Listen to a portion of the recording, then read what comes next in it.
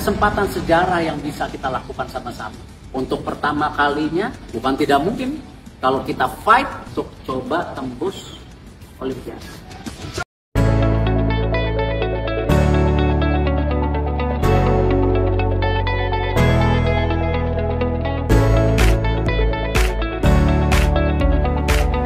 yang sudah pernah buat sejarah sama-sama. Mau buat sejarah lagi? Nah, kalau saya official yang ada di sini coachin PSSI dan saya yakin kalian juga sama. Tak puas hanya eh, sejarah masuk kejuaraan U231. Ada mimpi yang lebih gede lagi. Tidak mudah. Lawannya Australia, Qatar dan Jordan yang kemarin final.